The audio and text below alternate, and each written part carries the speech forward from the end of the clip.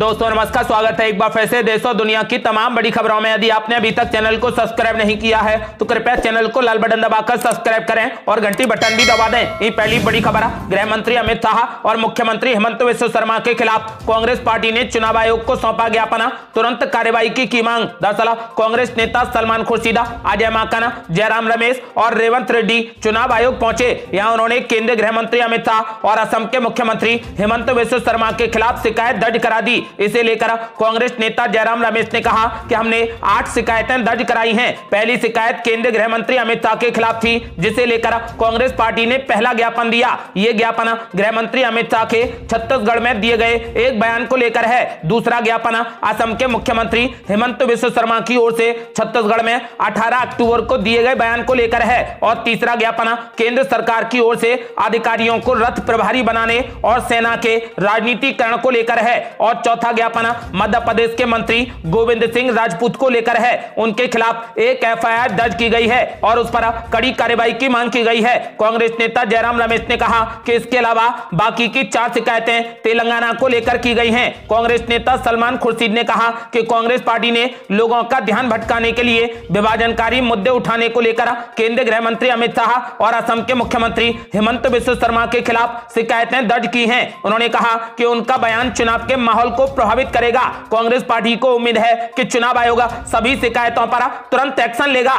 अगली बड़ी खबर, बीजेपी ने भी प्रियंका गांधी के खिलाफ चुनाव आयोग में कर दी शिकायत। कहा, धार्मिक भावनाओं के साथ खिलवाड़ कर रही प्रियंका गांधी। दरअसल, राजस्थान विधानसभा चुनाव प्रचार अब पूरे जोरों पर है। इस बीच केंद्र मंत्री अर्जुन राम मेघवाल के नेतृत्व में बीजेपी का एक प्रतिनिधिमंडल, कांग्रेस नेता प्रियंका गांधी वाड्रा के खिलाफ शिकायत करने को लेकर चुनाव आयोग पहुँचा। प्रियंका गांधी पर धार्मिक आधार पर चुनाव प्रचार करने का आरोप लगाया गया है। मंत्री अर्जुन राम मेघवाल ने कहा कि कांग्रेस नेता प्रियंका गांधी ने बीस अक्टूबर को धर्म के नाम पर एक बयान देकर चुनाव प्रचार किया था। इस मामले में चुनाव आयोग के सदस्यों से मुलाकात कर, शिकायत दर्ज कराई गई है। उन्होंने कहा कि कांग्रेस नेता प्रियंका गांधी ने आदर्श आचार संहिता और आरपी अधिनियम दोनों का उल्लंघन किया है। भारत के निर्वाचन आयोग से पूछना चाहते हैं कि क्या प्रियंका गांधी वाड्रा आदर्श आचार संहिता से ऊपर हैं? चुनाव आयोग से उसके खिलाफ कार्रवाई करने की मांग करते हैं। मेघवाल ने कहा कि धार्मिक भावना से कोई प्रचार नहीं किया जा सकता। ये प्रचार नहीं, बल्कि दुष्प्रचार है। उन्होंने कहा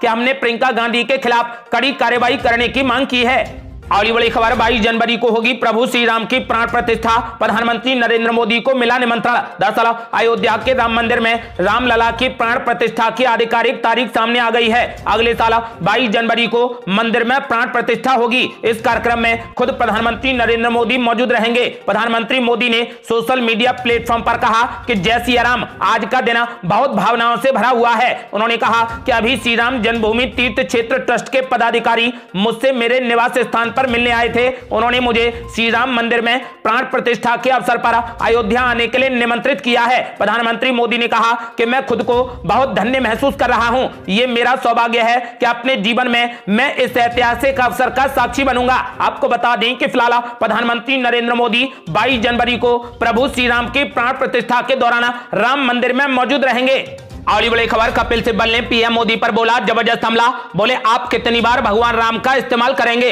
दरअसल, राज्यसभा सांसद कपिल सिब्बल ने भारतीय जनता पार्टी और प्रधानमंत्री नरेंद्र मोदी पर राजनीतिक लाभ के लिए भगवान राम का इस्तेमाल करने का आरोप लगाया है। उन्होंने कहा कि सत्तारूढ़ पार्टी अपने किसी अच्छे काम को नहीं गिनाती है। सोशल मीडिया प्लेटफॉर्म पर कपिल सिब्बल ने बीजेपी और प्रधानमंत्री मोदी से पूछा कि राजनीतिक फ़ायदे के लिए आप कितनी बार भगवान राम का इस्तेमाल करेंगे? उन्होंने कहा कि आप भगवान राम के गुणों को क्यों नहीं अपनाते? उनकी वीरता, शौर्य, निष्ठा, करुणा, प्रेम, आज्ञाकारिता और साहस कुछ भी आपके शासन में दिखाई नहीं देता। आपको बता दें कि कपिल सिब्बल का यह बयान ऐसे समय में आया है जब मंदिर ट्रस्ट की ओर से प्रधानमंत्री नरेंद्र मोदी को प्राण प्रतिष्ठा के लिए निमंत्रण दिया गया है। यूपीए सरकार में केंद्रीय मंत्री रहे कपिल सिब्बल ने बीजेपी पर निशाना साधा और कहा कि आप भगवान राम के गुणों को क्यों नहीं अपनाते? उन्होंने कहा कि आप कितनी बार आखिर भगवान राम का इस्तेमाल करते रहेंगे? अगली बड़ी खबर, केंद्र सरकार पर जमकर भड़की प्रियंका गांधी। बोली, सिर्फ़ गिने चुने उद्योगपतियों के लिए चल रही मोदी सरकार। दरअसल, राजस्थान में होने वाले चुनाव को लेकर कांग्रेस नेता प्रियंका गांधी झुंझुनू पहुँची। यहाँ एक सभा को संबोधित करते हुए उन्होंने केंद्र की बीजेपी सरकार पर जमकर हमला बोला। कांग्रेस नेता प्रियंका गांधी ने केंद्र की नरेंद्र मोदी सरकार पर निशाना साधते हुए कहा कि उसकी घोषणाएँ खोखली हैं। इसके साथ ही प्रियंका गांधी ने कहा कि केंद्र की भाजपा सरकार सिर्फ़ गुने चुने उद्योगपतियों के लिए चल रही है। पूर्वी राजस्थान नहर परियोजना योजना, महिला आरक्षण सहित कई मुद्दों को लेकर केंद्र सरकार को घेरते हुए प्रियंका गांधी ने कहा कि इनकी खोखली घोषणाएँ हैं, खाली लिफाफे हैं, ये जो भी घोषणा करते हैं,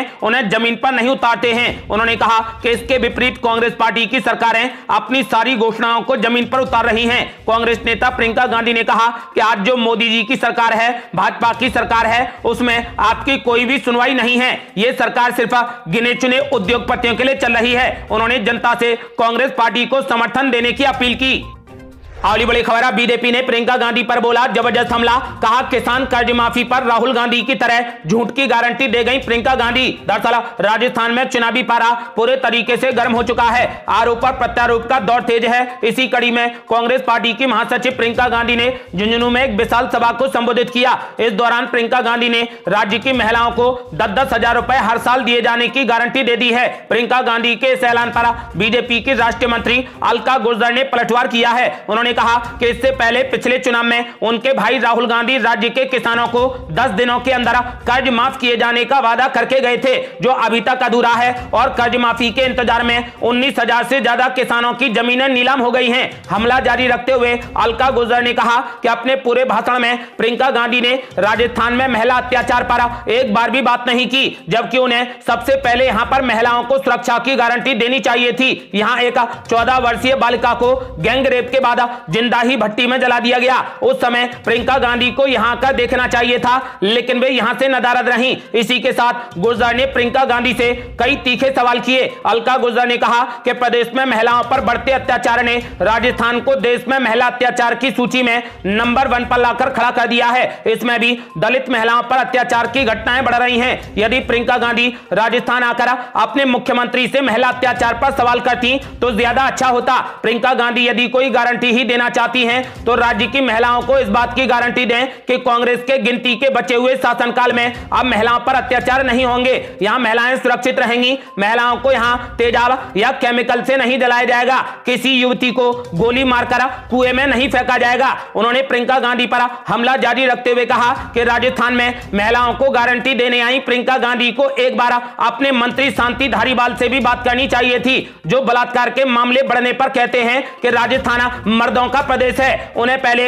अपनी ही विधायक दिव्या मदेना को सुरक्षा की गारंटी देनी चाहिए थी। इन सब के बाद वे यहाँ पर आकर महिलाओं को गारंटी की बात करती तो ज़्यादा बेहतर होता। अलका गुर्जर ने कांग्रेस पार्टी पर हमला जारी रखते हुए कहा कि प्रियंका गांधी ने पाँच रुपए में रसोई गैस सिलेंडर योजना का दायरा बढ़ाने की बात कही है। लेकिन उन्हें यह पता होना चाहिए कि उज्ज्वला योजना के तहत राज्य सरकार जो पाँच रुपए में गैस सिलेंडर दे रही है, उसमें केंद्र सरकार की सब्सिडी चार सौ रुपए की है। चार सौ रुपए केंद्र सरकार दे रही है और राज्य सरकार की सब्सिडी मात्र सौ रुपए की है। महिला आरक्षण की बात करने वाली प्रियंका गांधी को यह बताना चाहिए कि अब तक उनके शासनकाल में यह कानून लागू क्यों नहीं किया गया? अगली बड़ी खबर है एनसीआरटी की किताबों में इंडिया की जगह। भारत शब्द की सिफारिश पर भड़क गया पूरा विपक्ष। कहा तो क्या देश का नाम? अब जम्बूदीप रखा जाएगा। दरअसल एनसीआरटी की पुस्तकों में संशोधन किए जाने को लेकर हाई लेवल कमेटी की ओर से सिफारिशें की गई हैं। इसमें स्कूली पाठ्य पुस्तकों में इंडिया की जगह भारत शब्द का इस्तेमाल करने का सुझाव दिया गया है। इस पर विपक्ष के कई दलों के नेताओं ने कड़ी आपत्ति ज़ाहिर करते हुए भारतीय जनता पार्टी पर जमकर हमला बोला। समाचार एजेंसी भाषा के मुताबिक विपक्ष ने आरोप लगाया कि सत्ता सत्तारूढ़ बीजेपी इतिहास को बदलना चाहती है और ऐसे हताशा भरे कदम उठा रही है क्योंकि उसे विपक्षी गठबंधन इंडिया से हार का डर सता रहा है। कांग्रेस के संगठन महासचिव केसी वेणुगोपाल ने कहा कि इंडिया शब्द उतना ही गौरवशाली है जितना कि भारत है, लेकिन सत्तारूढ़ दल और सरकार एक पूरी पीढ़ी को उस शब्द से नफरत करने की शिक्षा देना चाहती है, जिसके प्रति हम बहुत गर्व महसूस करते हुए बड़े हुए हैं। उन्होंने ये भी कहा कि बीजेपी ना तो भारत को लेकर गंभीर है और ना ही इंडिया को लेकर गंभीर है। केसी वेणुगोपाल ने आरोप लगाया कि नाम बदलना सिर्फ़ ध्रुवीकरण का प्रयास मात्र है। वहीं कांग्रेस पार्टी की वरिष्ठ नेता अंबिका सोनी ने कहा कि संविधान में लिखा है, इंडिया जो भारत है, दोनों नाम एक हैं। राष्ट्रीय जनता दल के सांसद मनोज झा ने कहा कि इंडिया गठबंधन के गठन के बाद से यह बीजेपी शासन की एक अनुमादी प्रतिक्रिया रही है। उन्होंने दावा किया कि अगर इंडिया गठबंधन अपना नाम बदलकर भारत कर लेता है तो क्या वे देश का नाम बदलकर जम्बू रखेंगे? वहीं आम आदमी पार्टी की मुख्य प्रवक्ता प्रियंका कक्कड़ ने कहा कि यह दिखाता है कि प्रधानमंत्री नरेंद्र मोदी को इंडिया गठबंधन से कितना डर है। उनके गठबंधन के साथ ही उन्हें छोड़ रहे हैं। नाम बदलने के बजाय बेरोजगारी, महँगाई और भ्रष्टाचार के मुद्दों पर उन्हें ध्यान केंद्रित करने का प्रयास करना चाहिए। तो वहीं कांग्रेस नेता और कर्नाटक के उप मुख्यमंत्री डी के शिव कुमार ने कहा कि एनसीआरटी समिति की सिफारिश गलत है और इस कदम के पीछे एनडीए का हाथ है। समाचार एजेंसी एएनआई के मुताबिक शिवसेना यूबीटी नेता प्रियंका चतुर्वेदी ने कहा कि यह देश का दुर्भाग्य है कि इंडिया बनाम, भारत का मुद्दा बनाया जा रहा है। हमारे संविधान में डॉक्टर बी आर अंबेडकर की ओर से लिखा गया है, इंडिया, दैट इज़ भारत। उन्होंने कहा कि आने वाली पीढ़ी आपको इस भेदभाव के लिए कभी भी माफ़ नहीं करेगी। उन्होंने कहा कि हमारे लिए इंडिया ही भारत है और भारत ही हिंदुस्तान है। और बड़ी खबर, कांग्रेस पार्टी ने सात सीटों पर बदल दिया उम्मीदवार। तो शिवराज सिंह चौहान ने बोला, ज़बरदस्त हमला। बोले, कपड़ा फड़, पार्टी की हालत हो रही खराब। दरअसल मध्य प्रदेश विधानसभा चुनावों में कांग्रेस पार्टी और भारतीय जनता पार्टी कोई भी गलती की गुंजाइश छोड़ने के मूड में नहीं है। ऐसे में टिकट बंटवारे के बाद बगावत पर उतरे नेताओं की तरफ़ से इन पार्टियों के सामने बड़ी समस्या खड़ी होती दिख रही है। कांग्रेस पार्टी ने इस बगावत को भापते हुए अपने उम्मीदवारों के नामों का ऐलान करने के बाद फिर से विचार किया और कुछ सीटों पर अपने प्रत्याशी बदल दिए। कांग्रेस पार्टी अब तक सात सीटों पर अपने उम्मीदवार बदल चुकी है। हालाँकि मुख्यमंत्री शिवराज सिंह चौहान ने कांग्रेस पार्टी के फैसले को रणनीतिक कदम न मानते हुए घबराहट करा दिया है। बैतूल में तृप्ति नदी के उद्यम स्थल पर पहुँचे शिवराज सिंह चौहान ने मीडिया से बातचीत के दौरान यह दावा किया। उन्होंने कहा कि कांग्रेस अब टिकट बदल कांग्रेस बन गई है। उन्होंने बताया कि कांग्रेस पार्टी की हालत बहुत ही अजब गजब हो गई है। शिवराज सिंह चौहान ने कहा कि कमलनाथ जी ने तो क्या उनके बेटे ने भी टिकट बांट दिए थे? टिकट को लेकर जब कोलाहल मचा और लोग कमलनाथ के पास पहुँचे तो उन्होंने कहा कि कपड़े फाड़ने हैं तो दिग्विजय सिंह और जयवर्धन सिंह के फाड़ो। इसके बाद कांग्रेस कपड़े फाड़ कांग्रेस हो गई और अब कांग्रेस पार्टी, टिकट बदल पार्टी हो गई है। कांग्रेस की हालत अजब गजब हो गई है। शिवराज सिंह चौहान ने कहा कि आगे अभी और भी हालात बिगड़ेंगे। मुख्यमंत्री शिवराज सिंह चौहान का कहना है कि कांग्रेस के टिकट बदलने के फैसले के पीछे उनकी घबराहट साफ़ तौर पर दिखाई दे रही है। शिवराज सिंह चौहान ने कहा कि कांग्रेस पार्टी को अपनी हार का अंदाज़ा हो गया है। इसीलिए वो टिकटों को बदल रही है। अगली बड़ी खबर, बीजेपी नेता के बिगड़े बोला। बोले, अगर टोपी और दाढ़ी वाले, गाय और गोश्त खाने वाले लोग मंदिरों के आसपास भी दिख गए तो उसका अंजाम बुरा होगा। दरअसल, झारखंड के पांकी विधानसभा क्षेत्र के बीजेपी विधायक शशि भूषण मेहता द्वारा एक समुदाय विशेष को लक्ष्य कर दिए गए विवादित बयान पर सियासी हंगामा खड़ा हो गया है। उनका एक वीडियो सोशल मीडिया पर वायरल हो रहा है, जिसमें वो कह रहे हैं कि अगर टोपी और दाढ़ी वाले, गाय और गोश्त खाने वाले लोग मंदिरों के आसपास भी दिख गए तो उसका अंजाम बुरा होगा। उसको दौड़ा दौड़ा कर मारेंगे। वे धार्मिक स्थल पर दिखाई पड़ गए। तो रिज़ल्ट कुछ भी हो, हम उसकी परवाह नहीं करते।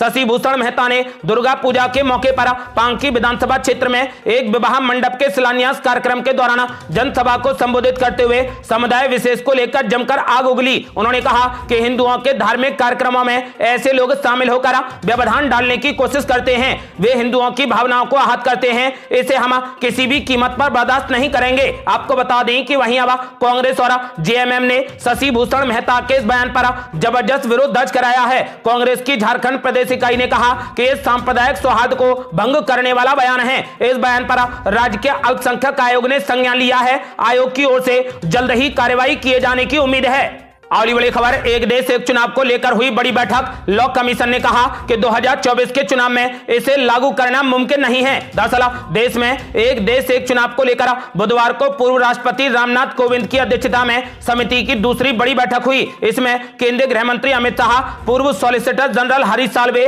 जम्मू कश्मीर के पूर्व मुख्यमंत्री गुलाम नबी आज़ाद के अलावा विधि आयोग के चेयरमैन ऋतुराज अवस्थी मौजूद रहे। इस दौरान लॉ कमीशन की ओर से एक पूरा रोड मैप पेश किया गया। सूत्रों ने बताया कि बैठक में लॉ कमीशन ने जानकारी दी है कि एक देश, एक चुनाव को अगर देश में लागू करना है तो इसके लिए कानून और संविधान में क्या संशोधन करने पड़ेंगे? सूत्रों के मुताबिक कमीशन ने कमेटी को बताया कि फ़िलहाल 2024 के चुनाव में एक देश, एक चुनाव को लागू करना मुमकिन नहीं है, लेकिन 2029 में इसको लागू किया जा सकता है। इससे पहले संविधान में संशोधन करना होगा। और ये बड़ी खबर राहुल गांधी के साथ इंटरव्यू में सत्यपाल मलिक ने कर दिया, बड़ा ऐलान। बोले, मैं लिख कर देता हूँ कि मोदी सरकार अब नहीं आएगी। दरअसल, कांग्रेस नेता राहुल गांधी ने पूर्व राज्यपाल सत्यपाल मलिक का इंटरव्यू लिया है। इसमें उन्होंने किसान आंदोलन, पुलवामा हमले और अडानी समेत कई मुद्दों पर बातचीत की और केंद्र सरकार को जमकर निशाने पर लिया। इस बातचीत को राहुल गांधी ने सोशल मीडिया प्लेटफॉर्म पर भी शेयर किया है और कहा कि क्या यह संवाद ईडी, सीबीआई की भागदौड़ बढ़ा देगा? राहुल गांधी से बातचीत के दौरान सत्यपाल मलिक ने मणिपुर हिंसा का ज़िक्र करते हुए कहा कि नॉर्थ ईस्ट स्थिर था, लेकिन केंद्र सरकार और राज्य सरकार ने इसे अशांत कर दिया। छह महीने की और बात है, मैं लिख कर देता हूँ कि मोदी सरकार अब सत्ता में नहीं आएगी। दरअसल, अगले साल यानी 2024 में लोकसभा के चुनाव हैं। इसमें एक तरफा बीजेपी के नेतृत्व वाला एनडीए गठबंधन है तो दूसरी तरफा कांग्रेस, टीएमसी और जेडीयू सहित अन्य विपक्षी दलों का गठबंधन है। इसी बीच राहुल गांधी ने सत्यपाल मलिक का इंटरव्यू लिया। सत्यपाल मलिक ने ऐलान कर दिया है कि मैं लिख कर देता हूँ कि मोदी सरकार अब नहीं आएगी। और बड़ी खबर अधीर रंजन चौधरी ने पीएम मोदी पर बोला, ज़बरदस्त हमला। बोले, चुनावी फ़ायदे के लिए राम मंदिर का मुद्दा उठा रहे पीएम मोदी। दरअसल, कांग्रेस नेता अधीर रंजन चौधरी ने बीजेपी पर चुनावी फ़ायदे के लिए पाँच राज्यों के चुनाव और लोकसभा चुनाव से ठीक पहले राम मंदिर का मुद्दा उठाने का आरोप लगाया। उन्होंने दावा किया कि प्रधानमंत्री नरेंद्र मोदी जातीय जनगणना के लिए विपक्षी दलों के दबाव से डरे हुए हैं, क्योंकि इससे अगले साल के आम चुनाव से पहले धर्म के आधार पर विभाजन की बीजेपी की योजना को झटका लग सकता है। आपको बता दें कि अधीर रंजन चौधरी ने पश्चिम बंगाल के मुर्शिदाबाद में पत्रकारों से कहा कि राम मंदिर का राजनीति से कोई भी लेना देना नहीं है। भारतीय हज़ारों वर्षों से राम की पूजा करते आ रहे हैं। अचानक मोदी राम भक्त बन गए हैं और देश को धर्म के आधार पर बांटने की कोशिश कर रहे हैं। अधीर रंजन चौधरी ने कहा कि विपक्षी दलों की जाति जनगणना की मांग से भाजपा को नुकसान हुआ है, क्योंकि इससे पार्टी की चुनावी योजनाओं में कुछ बाधाएँ आ सकती हैं। इसीलिए डरे हुए मोदी ये कहकर देश में भय का माहौल पैदा करने की कोशिश कर रहे हैं कि जातीय जनगणना भारत के लिए खतरनाक होगी। स्कूली पाठ्य पुस्तकों में इंडिया की जगह भारत करने की एनसीआर की, गठित समिति की सिफारिश के बारे में बात करते हुए अधीर रंजन चौधरी ने कहा कि ये और कुछ भी नहीं, बल्कि आम लोगों की समस्याओं से ध्यान भटकाने की भाजपा की बड़ी कोशिश है।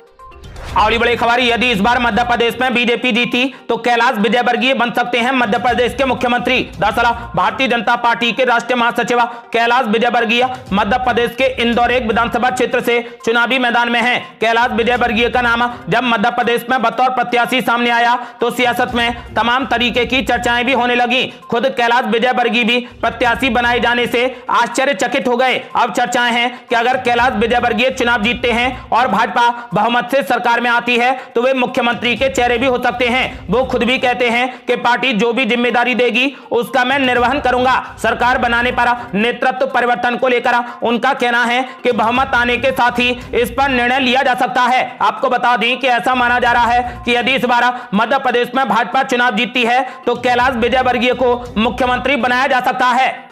अगली बड़ी खबर, पुरानी पेंशन योजना, मोदी सरकार के लिए बनी मुसीबत। अब एक और बड़ी रैली की हो रही तैयारी। दरअसल, पुरानी पेंशन के मुद्दे पर केंद्र सरकार और राज्यों के सरकारी कर्मचारी लामबंद होने लगे हैं। दिल्ली का रामलीला मैदान, पुरानी पेंशन के लिए सरकारी कर्मियों की लड़ाई का गवाह बन रहा है। दो विशाल रैलियों के बाद तीन नवंबर को confederation of central government employees and workers ने रामलीला मैदान में बड़ी रैली करने की घोषणा कर दी है। अभी ये रैली होनी है, लेकिन इससे पहले ही रामलीला मैदान में चौथी विशाल रैली, जिसे पेंशन जयघोष महारैली का नाम दिया गया है। इसकी तैयारियाँ ज़ोर शोर से शुरू हो गई हैं। आपको बता दें कि फ़िलहाल all India NPS employees federation के राष्ट्रीय अध्यक्ष डॉक्टर मंजीत पटेल का कहना है कि पेंशन जयघोष महारैली national mission for old pension scheme Bharat के बैनर तले 10 दिसंबर को होगी। ये एक निर्णायक रैली होगी। अगर उस समय तक केंद्र सरकार पुरानी पेंशन को बहाल नहीं करती है तो उस रैली में अनिश्चितकालीन हड़ताल की घोषणा भी की जाएगी। ये थी अब तक की बेहद बड़ी खबरें। रोज़ाना की ताज़ा खबरों को जानने